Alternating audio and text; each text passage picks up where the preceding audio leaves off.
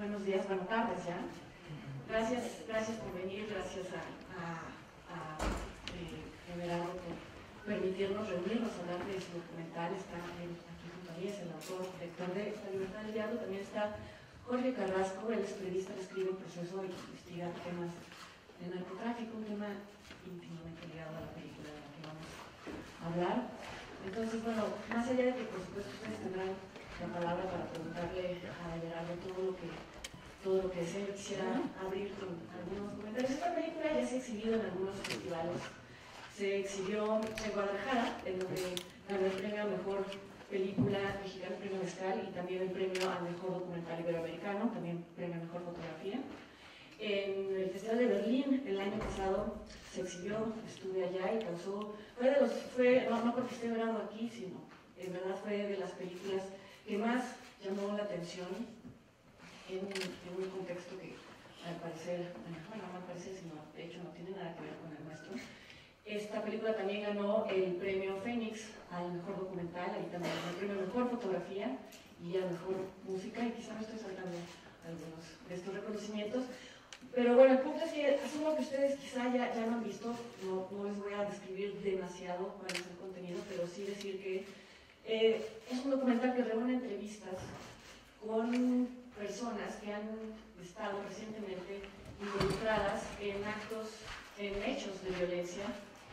Y más allá de preguntarte, Gerardo, más adelante cómo llegaste a ellos, cómo los encontraste, cómo los convenciste de dar su testimonio, o qué decisiones estéticas tomaste y por qué, creo que voy a empezar con lo que a mí me sacudió de, tu película y que creo que es lo que va a sacudir a muchas personas ahora que, que la vean, ahora que se exhiba. Y es que tristemente estamos, no sé si acostumbrados, pero sí habituados a escuchar relatos de personas que han sido víctimas de desapariciones, de delitos violentos, de la impunidad en general que reina en este país, pero no necesariamente hemos escuchado tanto los testimonios de los perpetradores de, estos crímenes, de quienes ejecutan, ya sea por órdenes directas, indirectas, por iniciativa propia y, a veces incluso eh, estimulados por las propias autoridades. No hemos escuchado estos testimonios y esto es lo que más quizá impacta de, tu documental. Yo quisiera empezar preguntándote, ¿por qué consideraste necesario incluir estas voces? Gracias, eh, muchas gracias realmente es, es como, además de bonito, es un honor, que estén aquí, eh, ayudándonos a que la película se promueva. Eh, mira, fue, fue, una decisión que tomó mucho tiempo tomarla, porque sabía yo que tenía implicaciones éticas complejas. Eh, hablé mucho con las víctimas organizadas, sobre todo las víctimas organizadas buscando exilio, que era en ese momento con quienes más cercanía tenía yo, mucho más contacto. Y me parecía muy relevante porque es una cara que creo que tenemos que escuchar hoy, además de escuchar por supuesto a las víctimas de la violencia en este país, me parece que es muy importante porque yo sí creo que estamos en un momento coyuntural en México que nos va a llevar a generar por lo menos, eh, menos a discutir conceptos tan complejos como los de la justicia transicional o las posibles amnistías, las creaciones de las comisiones de la verdad. Espero yo que eso empiece a suceder en México porque en el, CIDE hace una semana y media me parece se hablaba algo muy triste de cómo los 70s y la violencia en los 70s de Estado, por ejemplo, y el hecho de no haber creado comisiones de justicia nos enseñaron en este país que, pues, que esos conceptos existen en otros países como Colombia, que existieron en países como El Salvador Guatemala, pues en México no necesariamente. Y creo que esto pretende abonar de alguna manera a que se discuta no solamente desde, desde las implicaciones políticas o de las posibilidades de capitalizar a través de las víctimas con ideas a veces tan locuaces como la amnistía de facto, ¿no? Este, o, sí, sino que se cree realmente un proceso de justicia serio eh, y que no fracase como quizá fracasó en su momento la comisión de la, la, comisión de la verdad que se hizo en Oaxaca para hablar de los problemas que sucedieron en los 2000, eh, en la APO, en fin, eh, me parece que busca eso, o sea, busca que se discutan esos temas. Y también tiene que ver con un momento que escuché, no escuché, eh, que me dijeron, estaba yo haciendo un programa para HBO en el penal de Chiconauta en el Estado de México, que es una cárcel donde están muchos de los Zetas metidos. Un capitán Z que traía una condena con 74 años, no sé cuántos homicidios habrá el ordenado o habrá ejecutado el mismo. Y me dijo algo que me hizo mucho eco, quizás en un sentido más este, sociológico pero me dijo que él había nacido en una sociedad desigual del lado equivocado y eso me resonó muchísimo en la cabeza.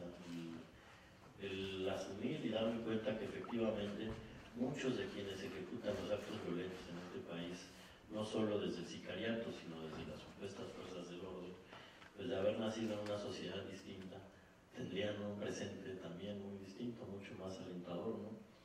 Y creo que era importante hoy escuchar a todos esos que de alguna manera también nacieron del lado equivocado, con las implicaciones éticas que podía tener, ¿no? Eh, por supuesto, esto fue desconsultado con las víctimas.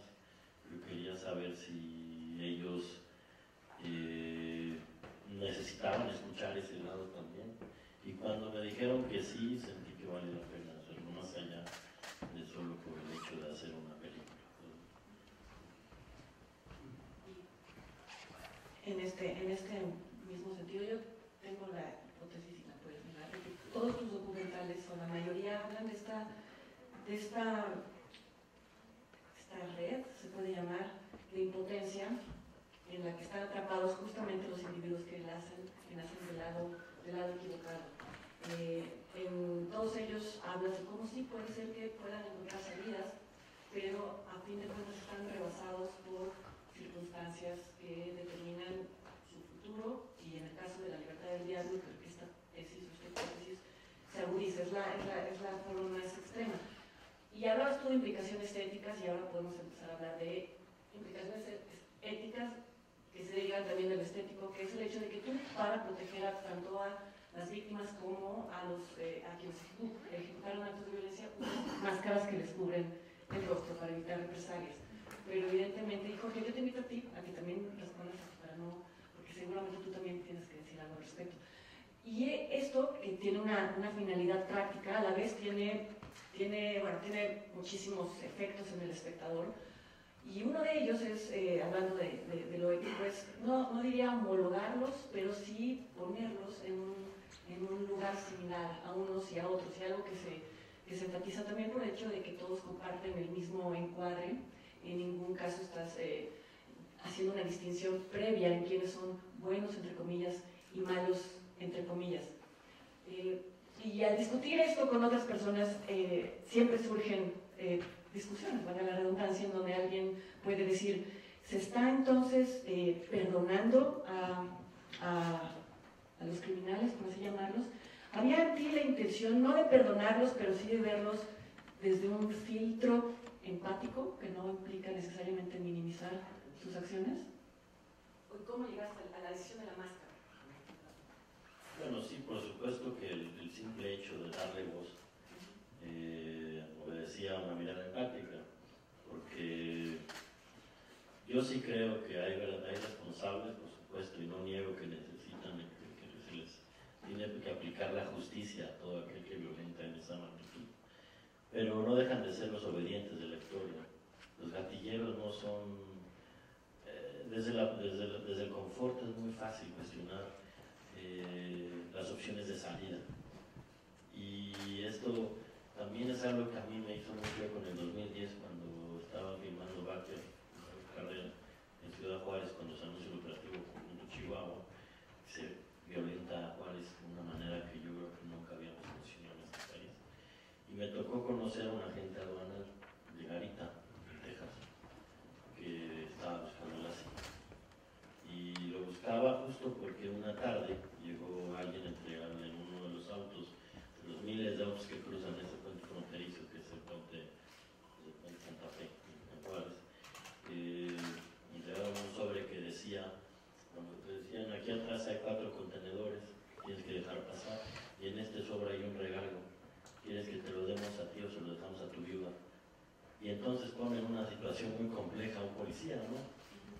O sea, desde la poltrona, del confort, el no vivir aterrado, pues uno podría tener miles de opiniones. Y lo ponía en una situación en la que viven no solo policías, también viven los periodistas, por ejemplo. O toman, la, o toman, el, o toman el obsequio, que en el caso del periodismo es el chayote, o son asesinados, o, y si lo toma, entonces esa garita se vuelve el cruce obligado porque ya está pactado y si no lo toma, pues lo que queda es escapar. Entonces, ¿qué hizo? ¿Cómo pasa con un montón de seres humanos en este país? Lo mismo sucede quizá con un muchacho que entra por afanes de venganza en un país que efectivamente no procura justicia, que asesinan al hermano, como entra un porcentaje altísimo de muchachos que integran el sicariato, quiere venganza, y una vez que jale el primer gatillo es nómina para un cartel probablemente y ya no hay opción. O hace el jale o matan a la familia. Entonces es muy difícil decir siempre hay opción, porque no necesariamente hay opción. Lo mismo un soldado del ejército, o como lo dice la Policía Federal acá cuando eres mando medio, dice, es que yo si no me mojo con mi, con mi comandante, pues a mí me van a entregar los carteles. Entonces todo mundo toma decisiones en este país violentado, de manera violenta nos pasa en todos los niveles, no solamente en los niveles de procuración de justicia o los niveles que tienen que ver con salvaguardar la seguridad ciudadana. Eh, yo creo que pasa en los niveles más grandes. Pasa en un presidente de la República que puede oír como el otro le dice que está loco y no puede manifestarse y decir no estoy loco y chingas a tu madre porque entonces, claro, eso está ya extorsionado a tu vez. Eso lo que responde es al ejercicio del poder como tan vertical, que es en el sistema en el que vivimos todos, prácticamente todos. Pues, y la decisión de usar una máscara eh, sí tiene que ver con salvaguardar la identidad de las personas, aunque mayoritariamente son, son personas que ya han eh, verbalizado su discurso en muchos foros. Es gente de alguna manera muy visible, porque las víctimas organizadas en este país afortunadamente han entendido que verbalizar su historia también se convierte en un acto político que provoca presión también política, que provoca transformaciones legales, pero que también le dice a otras víctimas que están acompañados. Y eso es básicamente, esas historias son las que han logrado que se organicen los grupos de forenses civiles, que están haciendo el trabajo que no está haciendo la Procuraduría de este país, y que se generen las organizaciones de defensa de derechos a víctimas gracias a que ellos han de alguna manera hecho visible su historia. Entonces, no necesariamente respondía a salvaguardar este, la identidad, respondía mucho más a un tema de oficio, porque tiene que ver con el concepto complejo de lo verdadero, que es el documental, y a las posibilidades de verdad que una máscara podía otorgar, como sucede con el, con el, con el con la tragedia griega, el teatro contado en coro,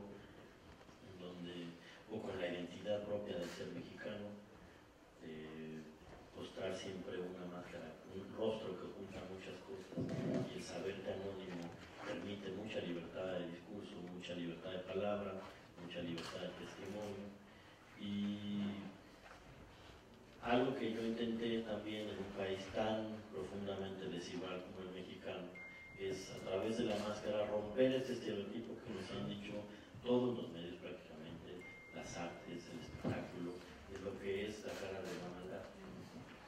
Al no tener el rostro de la maldad visible, entonces somos nosotros quienes homologan a las víctimas y los victimarios.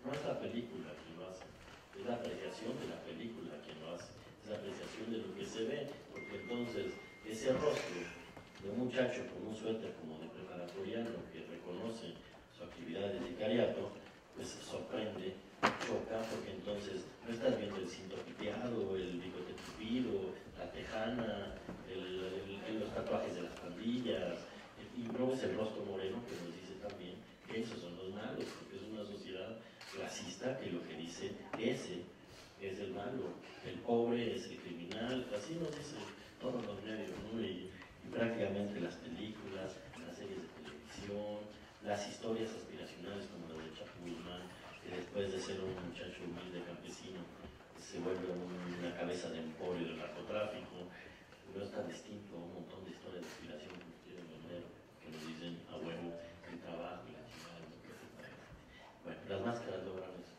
Las máscaras nos dicen que efectivamente todos estamos metidos en esto.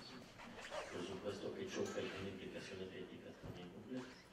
Yo estaba haciendo una película que le quitaba el rostro y el nombre a las víctimas en un país que está obligada a darle rostro, nombre y luz. Pero también fue una decisión consultada con ellos. Eh, y cuando sentí yo que tenía la aprobación de aquellos que sí, en mi opinión, tienen la, moral más eh, sólida, me dijeron que sí, pues yo seguí adelante con, la misma, con el mismo ejercicio, experimentar lo que la máscara nos regalaba. Era una película en términos de la verdad, de la veracidad, pero también en eliminar todos estos prejuicios que, estamos escribiendo.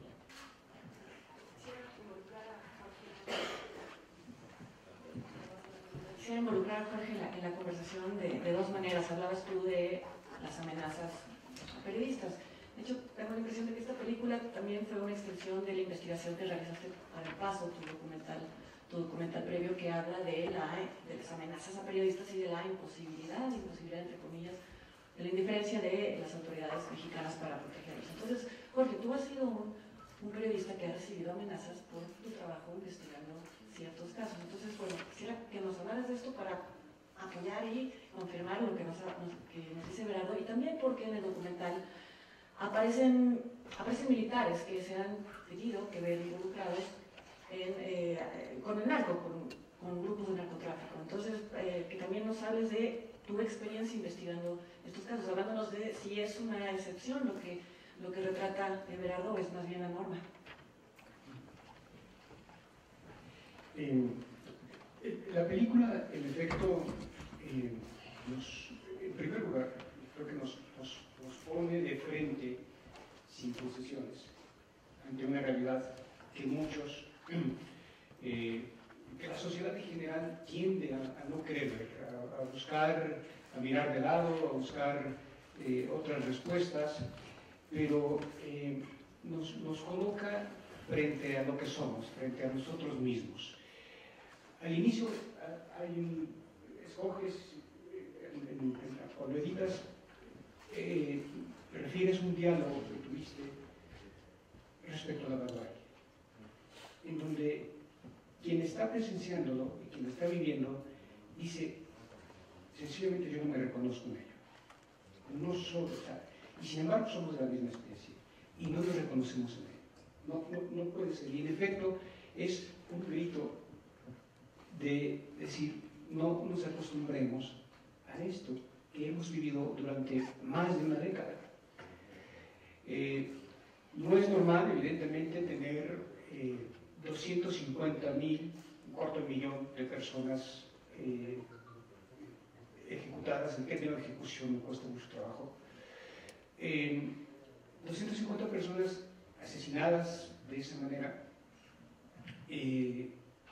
40.000 desplazados, 120 periodistas eh, asesinados, eh, muchísimos más amenazados, una suerte de 20 periodistas desaparecidos desde la época, no es absolutamente normal. No, no podemos asumirlo como un problema de ellos, de los narcos, como nos han dicho, como nos ha dicho el discurso oficial, se pelean entre ellos, o de los periodistas que nos dicen, pues quién sabe que estaban metidos. Entonces, eh, la película en sí misma es una gran reivindicación, es decir, no podemos mantener este estatus, no podemos normalizar, como sociedad no podemos seguir asumiendo y consumiendo tanta violencia.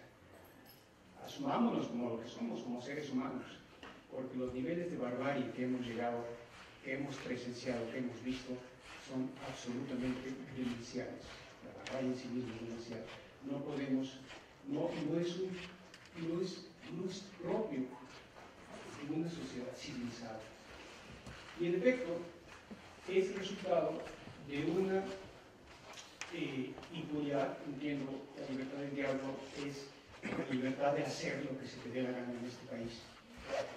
Eh, porque no hemos estado, nunca ha existido sanción a quienes han cometido graves, gravísimas violaciones de derechos humanos que no son otra cosa que crímenes de lesa humanidad. Me gusta referir, por ejemplo, que para la Cruz Roja un conflicto internacional se define en términos de la existencia de mil muertos. ¿Cuántos conflictos internos no tenemos nosotros en este país? Y es algo absolutamente que la autoridad no va a reconocer. No lo reconoció en su momento, en los años 60, 70 y ya en los 80. En el año 2000 tuvimos una gran oportunidad de hacer una revisión del pasado. No se hizo o se medio hizo. Y rápidamente nos vimos sorprendidos en esta dinámica, en esta vorágine. 2005 creo que fue cuando tuvimos las primeras evidencias de esta locura. Cuando en un bar en Michoacán, Guapa, al centro de la, de la pista se ven cabezas que depositaron ahí. Y fue algo absolutamente eh, fuera de proporción. Y sin embargo, sigue siendo un mensaje que la sociedad sigue consumiendo durante todo, ha seguido consumiendo durante tantos años y que nos hemos insisto, la sociedad o le da la vuelta y otros ya en un franco cinismo lo han asumido como tal. ¿Y a qué voy? Al papel del Estado. El Estado, la respuesta del Estado ha sido francamente criminal.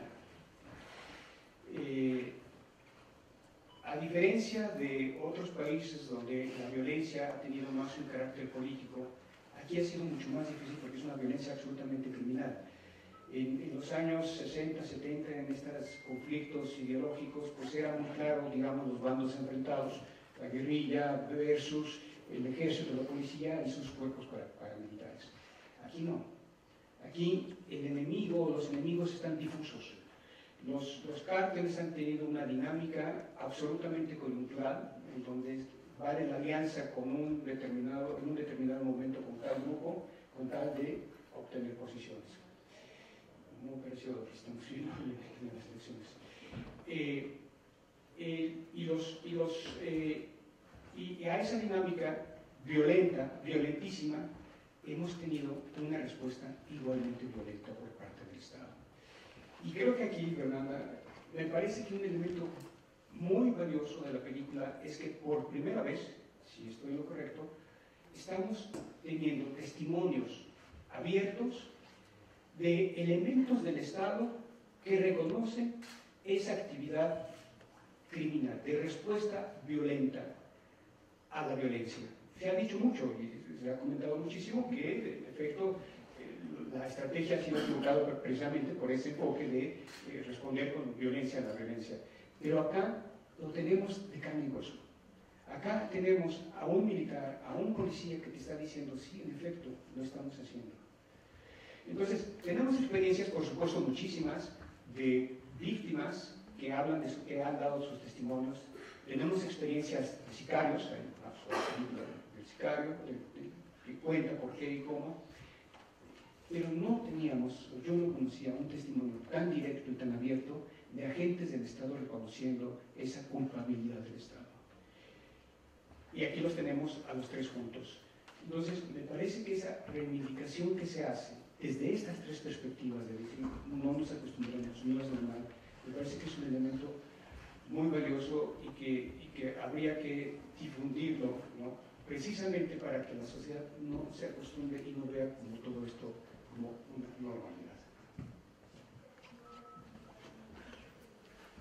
Normalmente cuando a mí me gustan, como sabes, mucho los documentales, creo que cada vez más que las ficciones, y aún así es muy difícil convencer la gente que vea documentales tiene la impresión de que es algo árido. Ahora, quizá quienes lean lo que, lo que hemos estado hablando aquí van a, van a decir, temo ver, temo ver estas imágenes, temo escuchar estos relatos, eh, yo quiero ir al cine para no confrontar con la realidad que me rodea, para eso están los noticieros. ¿Qué ofreces tú como director? Ya que no estás ofreciendo ni entretenimiento ni evasión, ¿qué le ofreces tú a un espectador que tenga frente a sí la posibilidad de entrar o no a ver la posibilidad de la libertad del diablo? ¿Alguna reflexión, un cambio? Eh, ¿Qué le ofreces que no sea solo terror? Yo creo que primero un balazo de agua fría, pues, ¿no? Eh, porque quien se queda viendo la película y llega al final, no va a salir indiferente, eso lo puedo asegurar. Va a provocar catarsis y por lo pronto va a generar mucha discusión después de haber visto la película. En la mesa de la familia, en el café posterior, en el camino a la casa.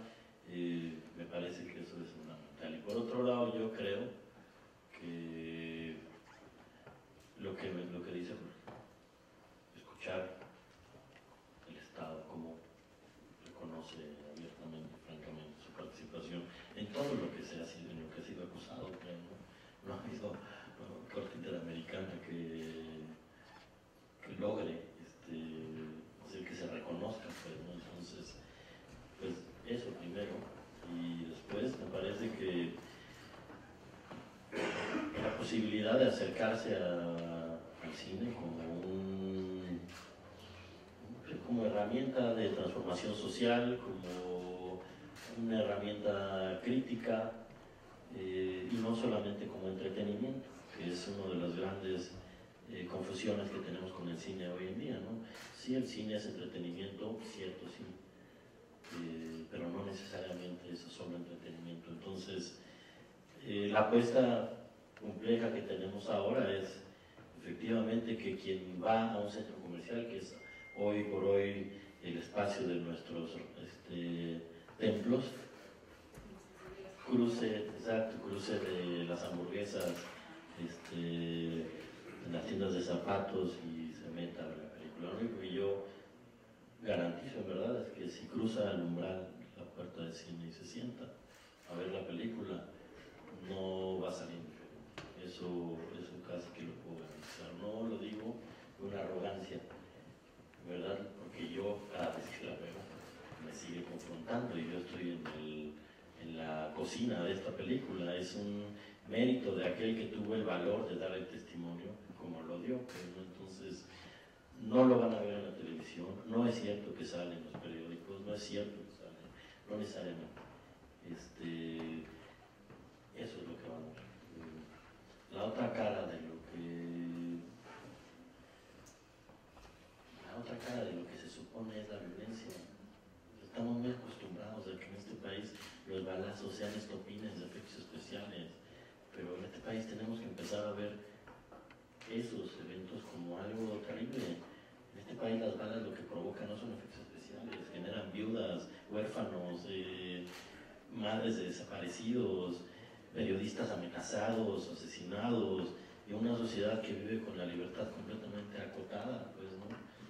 El hecho de que nosotros tengamos miedo de que los hijos vayan a una fiesta, que salgan a la calle, eh, que, no sé, a eso súmale ya todos los grandes problemas estructurales de este país, ¿no? Pero el hecho de saberse vulnerado, frágil, y que tengamos una película que reconozca que el Estado no nos está cuidando, probablemente habrá quien le quiera ver de lado, pero ese también va a ser responsable. Aquel que vea de lado lo que sucede en este país también es responsable de lo que sucede. Todos los consumidores de violencia, incluyo, me incluyo, somos responsables de que se cometan actos atroces, somos los que alimentamos esa llama, pues, ¿no? Y también mirar de lado hacer eso. Entonces, pues si no nos queremos, no quiero decirlo como chantaje, pues, por lo menos habrá que ver a los ojos aquel que está en medio, en el ojo de huracán, pues también. Antes de, de pedirles a ustedes que incorporen a la conversación, quería preguntarte, Jorge, si quisieras tú agregar algo. por formación profesional tengo que preguntar esto cuando uno eh, consume este tipo de productos necesita respiro necesita muchas veces detenerse cuando uno, uno lee los informes de las comisiones de la verdad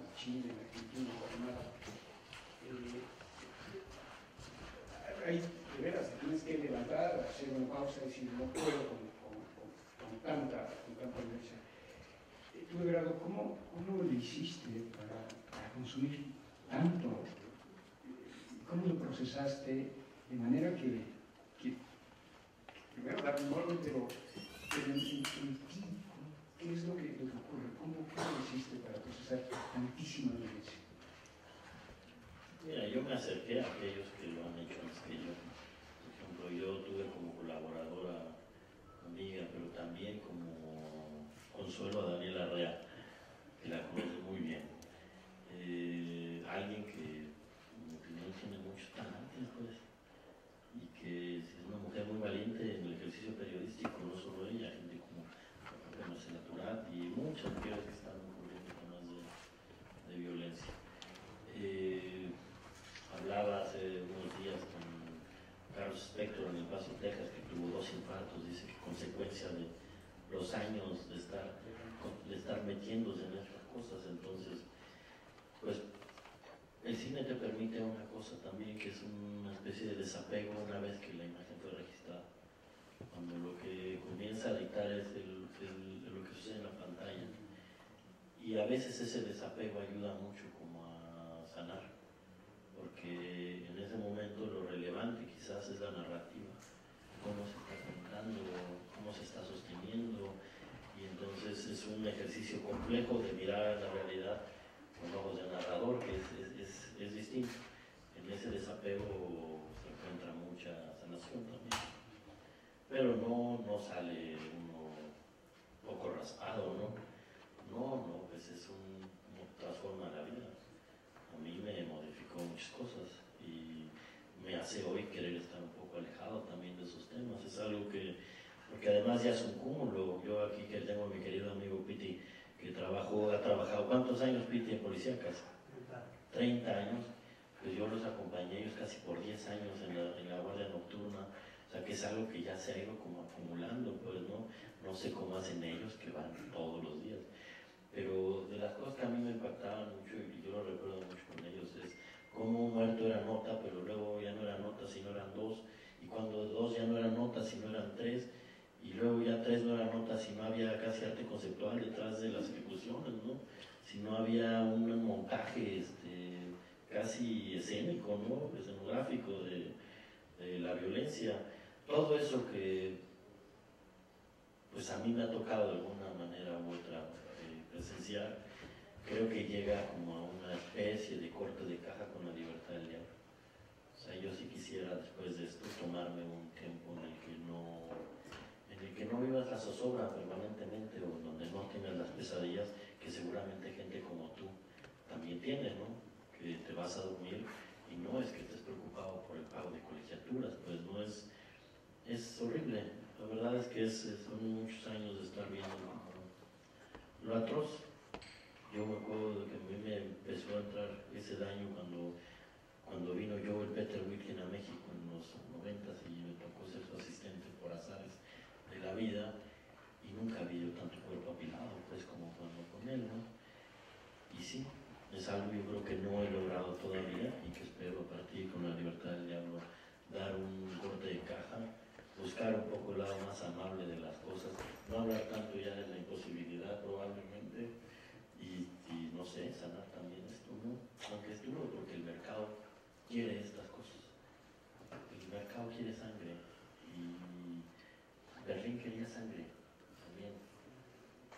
La gente quiere eso, la gente, el mercado lo consume y si no, pues es la historia de Cartelán, la historia de un montón de, de, cualquier serie de Netflix que genera ratings altísimos porque somos violentos. Nos gusta ver la, violenta, la, la, violencia en la pantalla, siempre pensando que qué bueno que no somos nosotros, ¿no? Hasta que un día me tocan la puerta, ¿no? Entonces, pues vamos a ver con todo lo antipopular que pueda suceder después, pues tomar una especie de descanso. Quien quiera hacer preguntas para Gracias. Eh, buen día, Everardo. Eh, soy Aldo Mejía del Huffington Post México. Eh, hace unas semanas estuvimos en Cuernavaca, Morelos, como parte de la ruta HuffPost.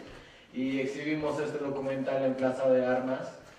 Eh, y la respuesta, eh, si bien fue bastante positiva por la mayoría de la gente, no pudieron eh, terminar de ver muchos de ellos, las personas que estaban en la plaza, el, documental, porque tienen la violencia muy, muy, muy de cerca, muy enseguida a ellos.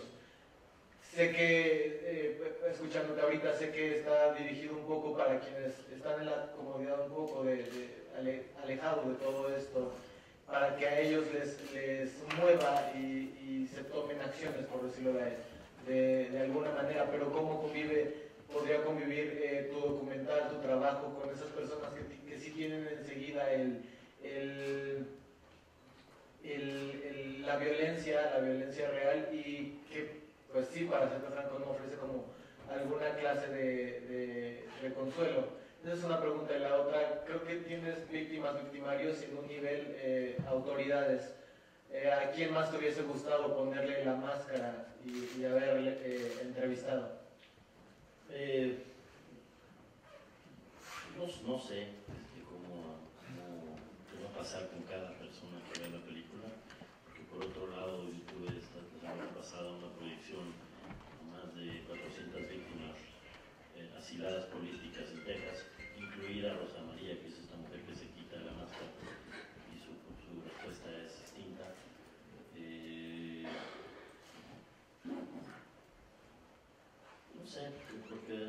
además es terrible pensarlo así. Yo no dudo que muchas de las víctimas de la atrocidad sean hoy los grandes consumidores de las series de narcotráfico. ¿No? Es como una especie de evasión que quizás es lo más complejo que tiene trabajos como este, que no está en el plano de la ficción. Entonces, no tengo cómo ofrecer un, un cartel, así decirlo, de actores, ¿no? un elenco eh, que le haga decir al espectador esto que ves no porque lo que para mí es importante es que se que sí sucede. No sabía, yo lo único que pido es que tengan un voto de confianza y le den un voto a la película. No, no sabré decirte qué es lo que va a pasar con cada espectador, por supuesto que eso ha cambiado mucho. Eh, y hoy efectivamente Morelos es un lugar hiperviolento, eh, comprobadísimo de los vínculos del crimen organizado con el Estado. Eh, entonces, no lo sé, lo mismo pasa en Veracruz, ¿no? Una vez proyecté en Veracruz y pues hubo esta confrontación directa con el gobierno. Son una película que puede generar cierto conflicto, puede golpear, pero yo creo que de eso se trata en las películas. Eh, y bueno, la segunda, hay gente que quedó fuera, por ejemplo. Hay alguien que me interesaba mucho, que era uno de los regidores de Guadalupe, Chihuahua, uno de los pueblos más desplazados, yo creo que del país en un periodo complejo, que hablaba, espero esté en este libro que queremos editar para hacer una especie de una recopilación de los testimonios que están aquí, los que quedaron fuera, que relataban con una claridad fuerte para mí el gran problema de hacerle frente al crimen cuando se anunció el operativo conjunto Chihuahua en este caso. Cuando el gobierno de Calderón le pide a las fuerzas de seguridad estatales o municipales, y las fuerzas municipales tienen una escopeta y dos pistolas que no tienen tiros, y les obligan a que le hagan frente a carteles que cargan M16, este, AK-47, 9 milímetros, eh, qué sé yo, una cantidad de armamento que no tiene ni siquiera el ejército mexicano probablemente. Entonces, esa es una voz que me hubiera gustado porque por lo menos ayuda a entender la gran fragilidad del Estado. Porque también a veces, también a veces quienes deben gobernar están incapacitados, no pueden gobernar porque además les mandaron a hacerle la guerra al vecino, que vive en la calle de enfrente, al que estudió con ellos en la secundaria, en la primaria, con el que juega fútbol, al que no se le van a esconder, pues no y eso me parecía como muy importante. No quedó porque, bueno, era extender demasiado la película. También la película tiene una duración breve justo por eso, esa conciencia, porque sé que no se puede sostener mucho, entonces por eso dura lo que dura. Eh, y esa es una, por ejemplo, una historia una maestra en Culiacán que habla de este gran problema que tenemos hoy, que es el haber perdido ya por lo menos unas cuatro generaciones de niños, que hablan, por ejemplo, hijos del sicariato, que habla lo complicado que es decirle a un niño, hijo del sicariato, que el sicariato está equivocado, o que quitarle la vida al otro está mal, cuando es lo que hace el abuelo, el padre, el tío, el hermano, este, lo complicado que es además enseñar a esos niños, porque si tú lo repruebas estás vulnerando tu vida, un poco sucede lo mismo en El Salvador con las maestras de los hijos de las maras, si tú repruebas a un chiquito por ahí te matan, pues a eso suma el gran problema de la CENTE, el CENTE, eh, la Secretaría de Educación Pública, los presupuestos federales, eh, la educación rural, súmale a todo eso que las maestras no pueden formar a tus niños porque si el niño dice, si me repruebas te mato, niño de 10 años, la maestra tiene que creer que sí es posible. Además es una voz que me hubiera gustado tener acá. Eh, maestro, eh, una dos preguntas. ¿Por qué se tardó tanto en estrenarse ya comercialmente en México?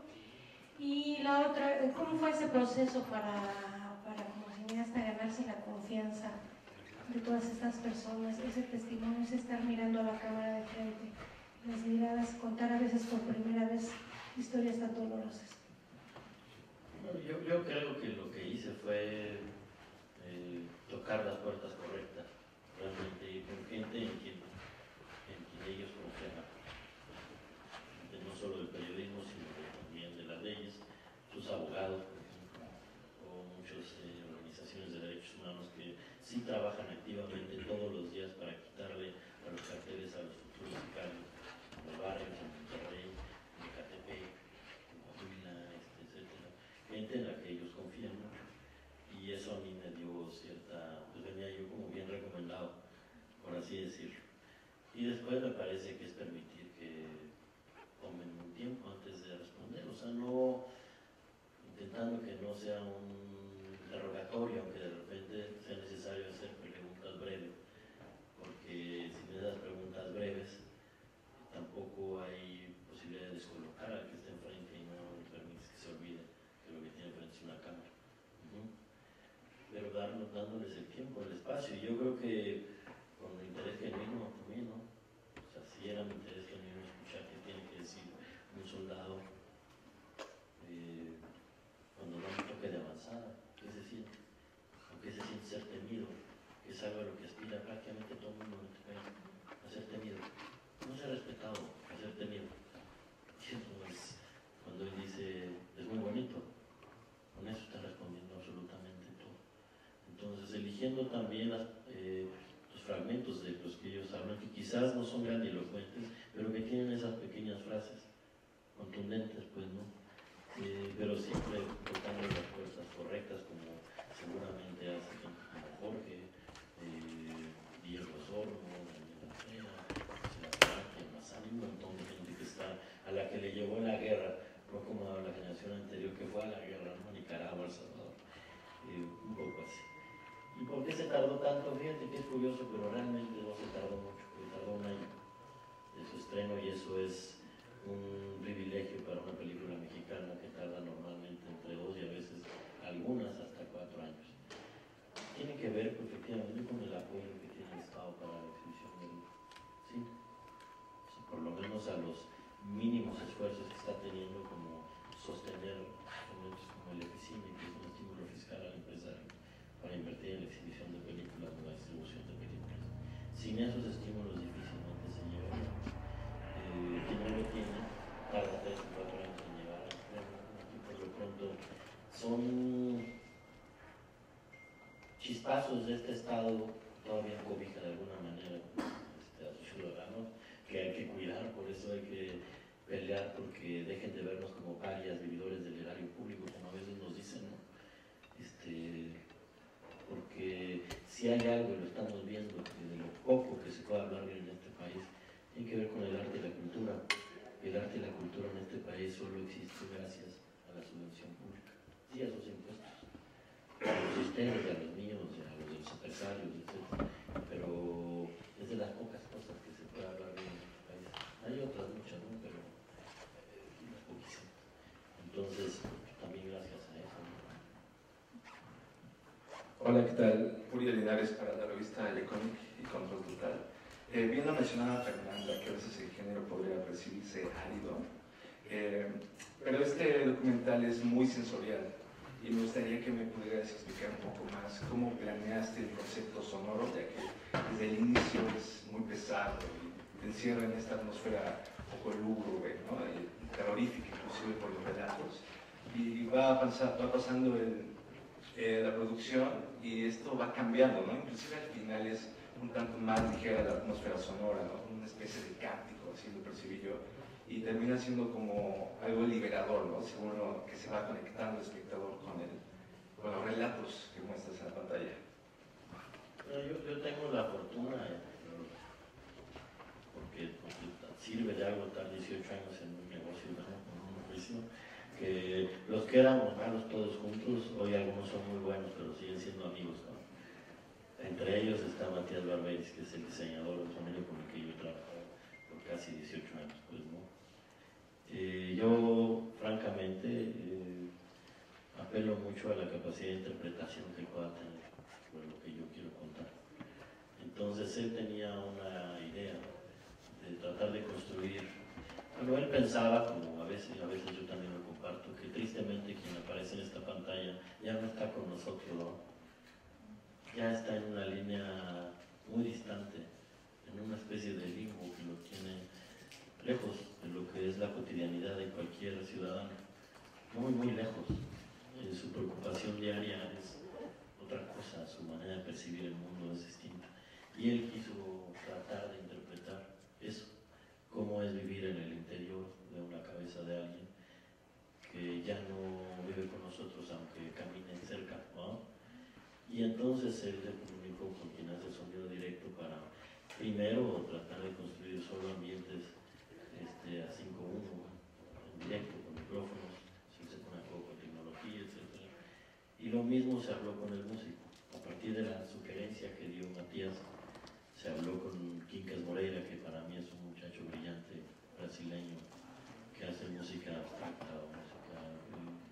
Y, bueno, pues, se confió en que se estaba contratando un autor, no a un musicalizador de películas, para que interpretara esto y el resultado es eso. Se llamó a uno de los mejores mezcladores de este país, Jaime Bach, loco, pero por loco y bueno también, que entiende muy bien la dimensión de la sala de cine.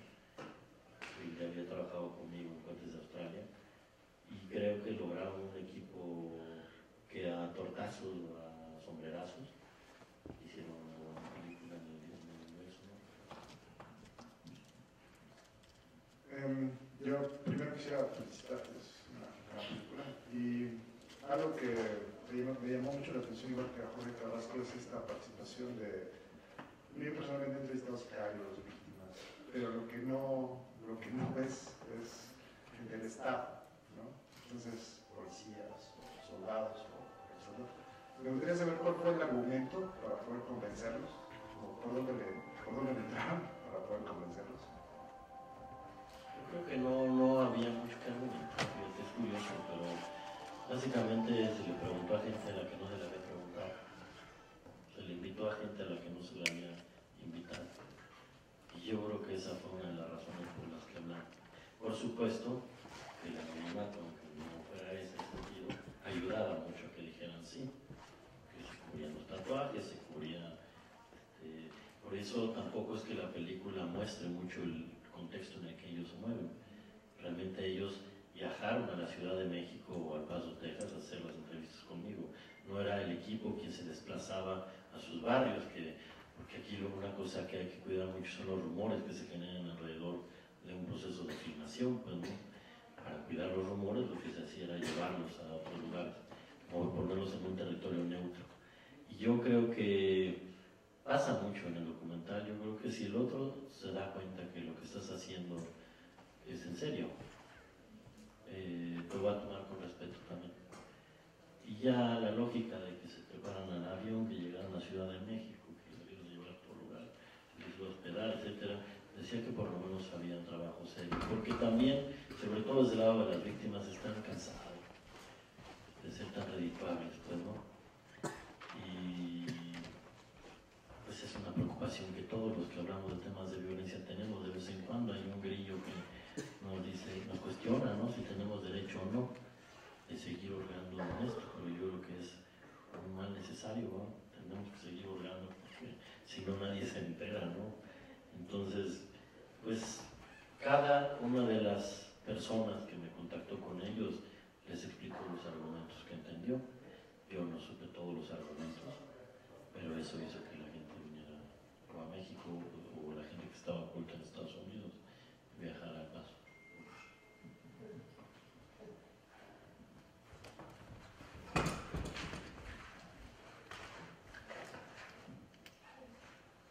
Carolina García de Café con Cine. Dos preguntas. La primera es, eh, el documental ha sido catalogado por los medios como un documental psicológico. ¿Cuál es su opinión acerca de, esta etiqueta? No sé si se haya lanzado el documental como un género, documental psicológico. Eh, y la segunda, ¿hasta qué punto eh, los documentales, en particular este documental, eh, separan la humanidad y comienza con los fines de lucro? ¿Cómo es la última pregunta? ¿Separa a la humanidad?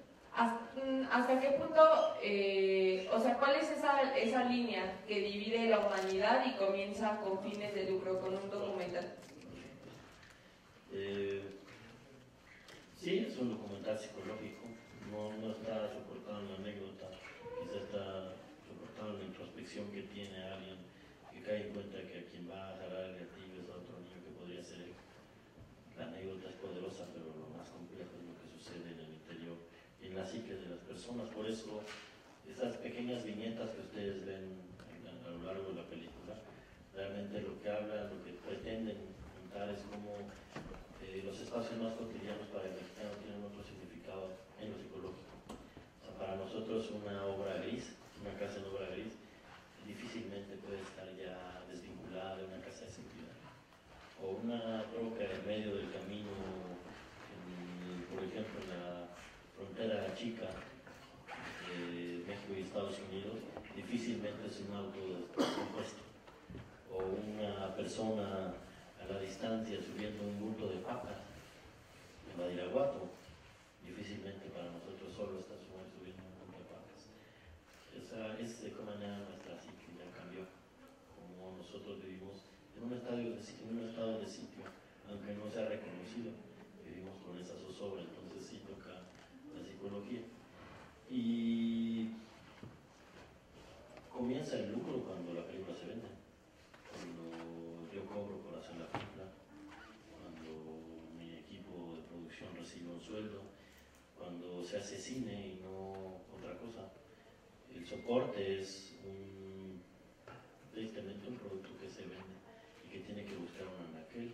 Por eso es complejo, porque para todo el aparato que se encarga de que la película sea vista, pues la película es un producto, pero para mí no. Y es ahí, por eso siempre acabo con los sombrerazos, porque para mí tiene un vínculo afectivo, una convicción política, una, pues tiene ciertos compromisos morales, éticos, cuestionamientos éticos. Mostrar esta película después de 18 años de hacer documentales, pues también te puede hacer que te digan eres un farsante, cruzaste los límites éticos que no querías cruzar. A lo mejor los que hablan no son realmente víctimas, sino son actores, como alguien se aventuraba a decir cuando ve la película, ¿no? Yo digo, está bien, pues tenemos un, un equipo, un, un medio actual extraordinario, ¿no? Sí, claro, lo digo muchas veces, ¿no? Tenemos, este, aquí difícilmente se le quedan los actores, por ejemplo, pero bueno, los que yo elegí, a los que yo casté, este, sí se les ¿no? Ahí empieza un poco el tema del, del lucro. Ahora es una convención con la que yo parto cuando hablo con la gente. O sea, para mí no tienen que dar duda que lo que yo estoy haciendo es una película y que es una película que para ser vista se tiene que vender.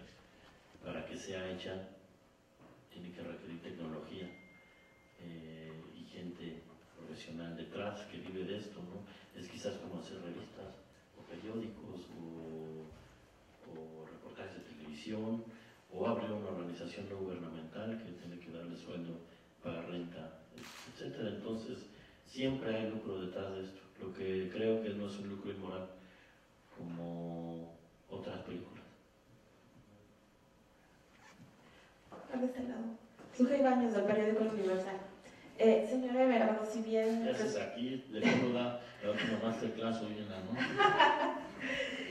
eh, si bien usted resguardó la, la, seguridad de la gente que participó y dio, dio su testimonio, yo quisiera preguntarle qué tanto eh, cuidó la seguridad propia antes, durante y después de realizar este documental. Y una segunda pregunta es, ¿por qué solo una persona de los que dieron testimonio reveló su rostro? Bueno, el equipo se intentó seguir un protocolo de seguridad, por supuesto que siempre hay resbalones. Un resbalón fuerte fue usar una cuenta de correo que no tenía que usar para comunicar estas cosas, fue un error. Tristemente en esto se va aprendiendo, se equivocando, pues, ¿no? pero se cuidaron otros. Por ejemplo, esto que yo hablaba de no ir a calentar la, el barrio, de no generar rumores en el lugar para que no se vulneraran ellos ni el equipo. O yo, por ejemplo, solo sé los apodos de la mayoría de las personas. Yo no hurgué más allá de lo que tenía que hurgar para esta película en particular, que finalmente lo que yo estaba haciendo no era propiamente periodismo. Entonces no, yo no estoy haciendo una película que señale, por ejemplo, ni me interesa eso, para esta película. Este, los nombres, esa es una cosa que se cuidó muchísimo, eh, porque hay gente que quiere hablar y opinar, ¿eh? O sea, hay gente en la que le pones el micrófono contra quien quiera, y a veces tú no estás seguro de que lo que acusa es verdad. Entonces, porque en este oficio, tristemente, no existe el, concepto de verificador de hechos. Entonces, pues, básicamente es un acto de fe, como el cine mismo, o crees o no crees en lo que está sucediendo en la pantalla, ¿no? Eso es el cine también, pero pues, como yo me muevo en esto y no en el ejercicio periodístico, pues tenía que evitar todo aquello que señalabas con simpleza o con ligereza a mucha gente, ¿no? Porque la gente con el micrófono quiere aventar, ¿no? Un montón de culpas y responsabilidades, pues.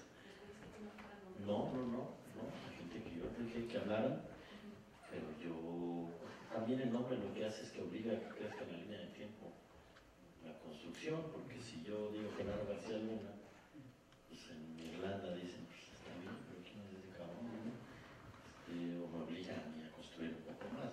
Genaro García Luna está fácil, pues, porque está muy cubierto pues, por todos lados, no solo por los medios, también está cubierto en su futuro. Pero bueno, este, sí se siguió.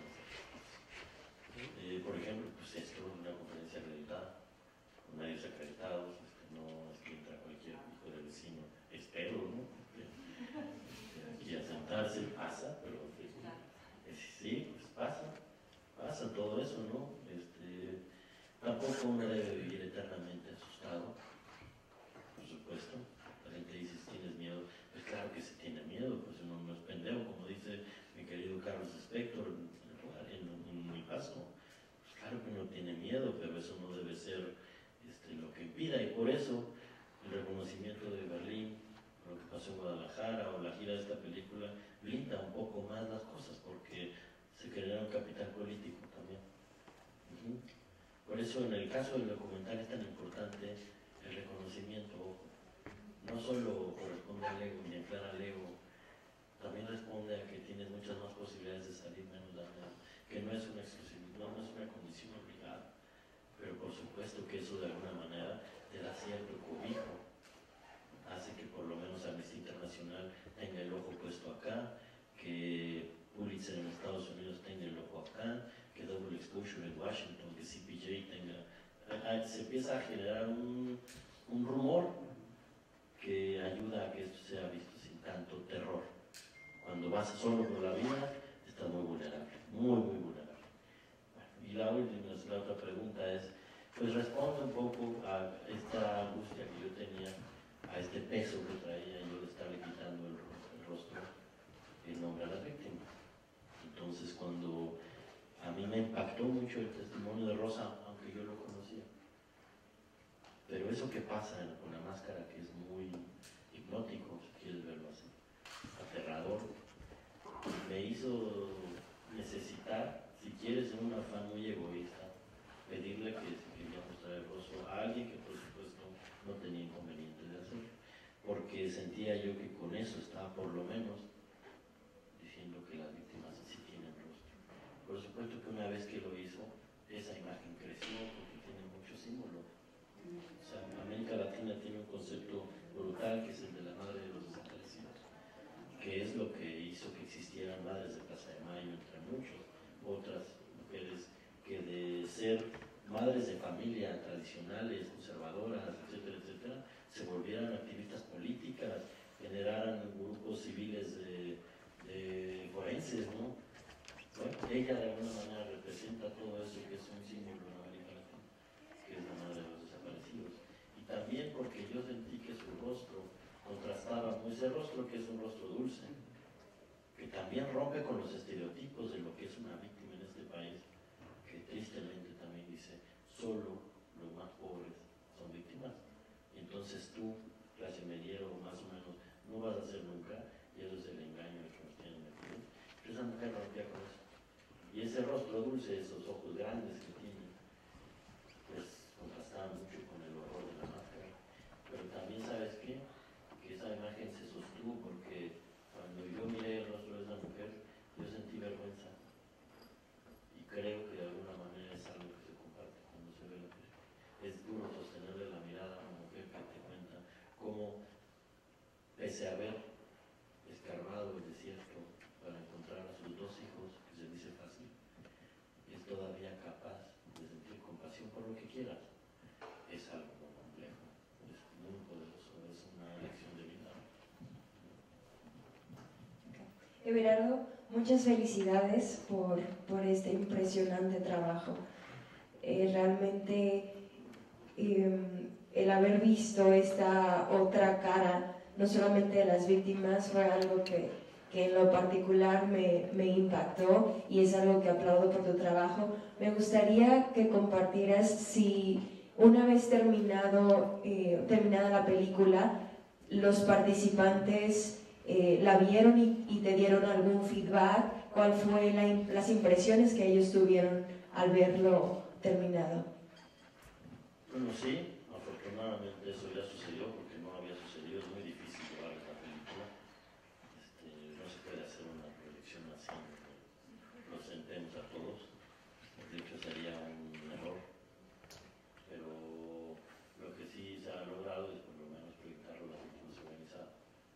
Entonces, esta semana pasada hicimos una proyección en El Paso, Texas, uh, sobre todo para, era una, una función para recaudar fondos para una, tres hermanas, las hermanas Alvarado, que son eh, parte de este proyecto, que tienen por primera vez la Corte Interamericana de Derechos Humanos tomó un caso del Valle de Juárez, en Chihuahua, y tienen que viajar a Costa Rica, pero no tienen un clavo para ir. Entonces se hizo para los organizados allá y muchos de quienes aparecen en esta película. ¿Qué pasa? Eh, pues ahí, ahí, la gente yo creo que agradece de alguna manera. Sentir que no se les ha olvidado a otros, que su historia sigue vigente. Porque creo que eso es parte de la inercia que vivimos en este país. ¿Quién habla de Allende hoy, por ejemplo? Allende es un, es un genocidio. No puedes hablar de un pueblo que, que desaparecen y masacran a 300 ciudadanos en una sola noche. ¿Quién habla de esas cosas? Apenas están empezando a narrar esas cosas. Imagina el desconsuelo que tienen aquellos que lo perdieron todo cuando nadie lo mira, cuando nadie habla de su historia. Entonces, pues la retroalimentación, por lo menos la más natural, es esa, en un sentido de gratitud también. ¿no? Hubo un periodista que se molestó mucho porque habló en sicariato, pero una vez más fue Rosa María quien aplacó las cosas, porque ella dijo que para ella sí era importante. Cuando una mujer como ella dice que para ella es importante, a mí me puede criticar